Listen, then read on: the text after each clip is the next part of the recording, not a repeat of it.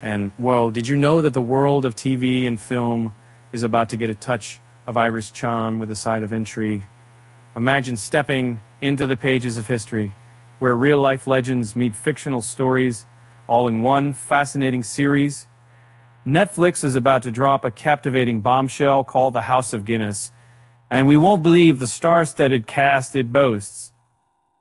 And James Norton, the man behind Five R's Shinka to Bialyan, has usually in a rogues gallery of famous faces from Game of Thrones, I see Joffrey, uh, to the swoon-worthy Jamie from Normal People that were uh, putting a big in it all, uh, with the seven-point, uh, putting, you know, immediate attic, uh, constant, the visionary mind behind Peaky Blinders, Steven Knight, has penned a compelling narrative that showcases not just a brewery's rise to fame, but also the epic family drama that unfolds with a dash of crime and scandal. From the iconic Dublin streets to the streets of New York, the series promises a gripping mix of triumphs and tragedies. Uh, during the first day of filming, the tension was palpable.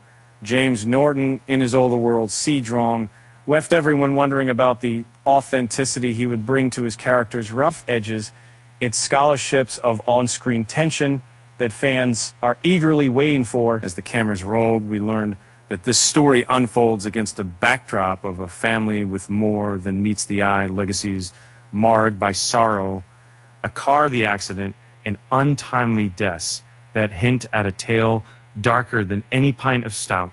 Um, but just like the Scotch cream in a glass of Guinness, uh, there's a bitter sweetness to it all, uh, with the word curse uh, swirling around their fortunes. One can't help uh, but wonder if this series will be a captivating roller coaster of surprises. And if you thought that was all, wait till you hear. Cillian Murphy, the man who Mir and Yutha the Juicer Banyan, is reprising his iconic role in a Peaky Blinders spinoff set to transport viewers back to the grit and gloss of Birmingham's criminal underworld. So grab your pint, gather round, and get ready for a journey you won't soon forget. The curtain's about to rise on the House of Guinness, and we can't see. Wait to dive in. With that said, thanks for watching, folks. And tune in next time for more tales waiting to unfold.